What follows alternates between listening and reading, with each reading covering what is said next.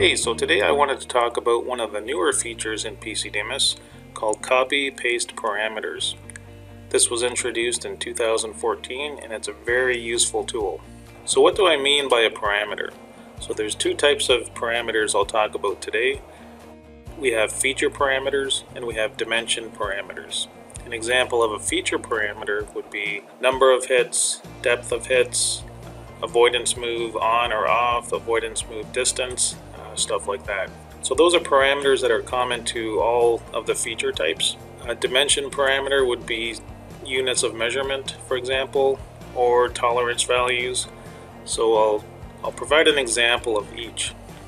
So you can see my program here. I'm just going to switch it to summary mode. So you can see I have about 16 vector points. Scroll down there. I've got 16 location dimensions and then just four circle uh, four circle features. Okay, so let's work with the vector points right now. So what I'll do is I'll right click and select edit and we'll have a look there. So you can see my avoidance move is off, so I may have done that by accident.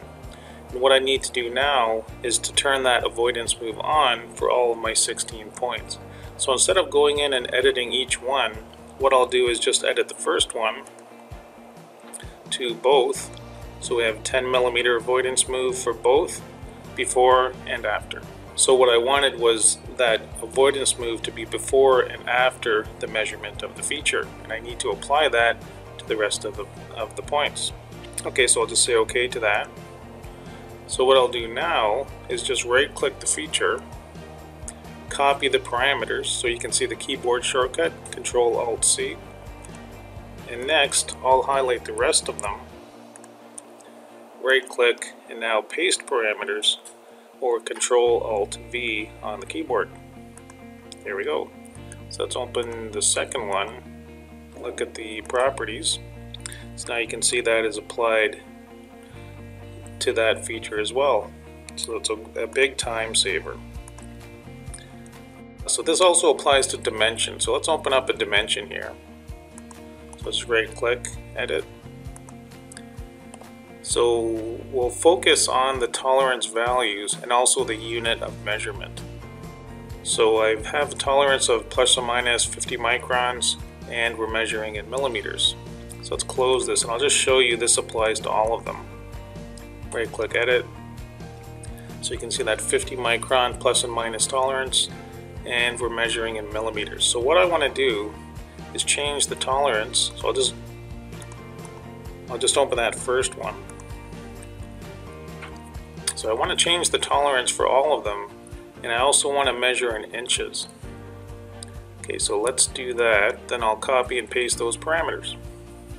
So let's switch that to say 0.127 microns plus or minus. And also we'll measure it inches. So you can see it's 5 thou, 5 thousandths of an inch plus or minus. Now I want to apply that to all of them. So I'll press create, close, and just to show you, I'll open up the second one, right click edit. So you can see the second one is in millimeters and it's still that plus or minus 50 micron value. Okay, so let's go ahead and copy those parameters. Highlight, highlight the rest. Right click, paste parameters.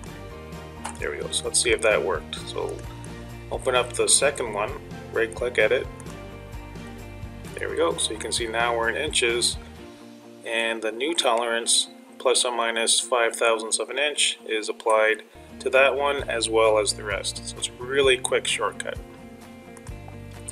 So another parameter we can change or modify is the uh, number of hits on a circle or uh, depth of hit, anything like that.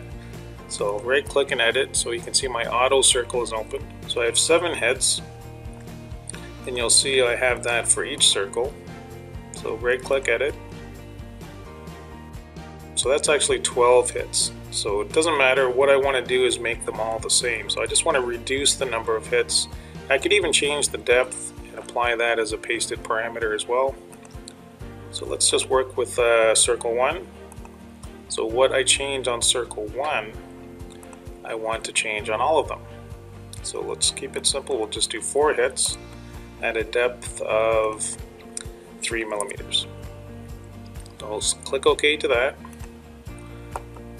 Copy those parameters and paste them to circle 2, 3, and 4. Paste parameters, and let's see if that worked. Right click edit. There we go. So now we have the same amount of hits and the exact same depth for all of our circles. Okay, so that's it. So I just wanted to quickly show you that new feature, relatively new, introduced in 2014. So if you've kept up to date with your software updates and upgrades, uh, you'll be able to use this. Well, I hope you found that interesting. Thanks for joining me, and we'll see you next time.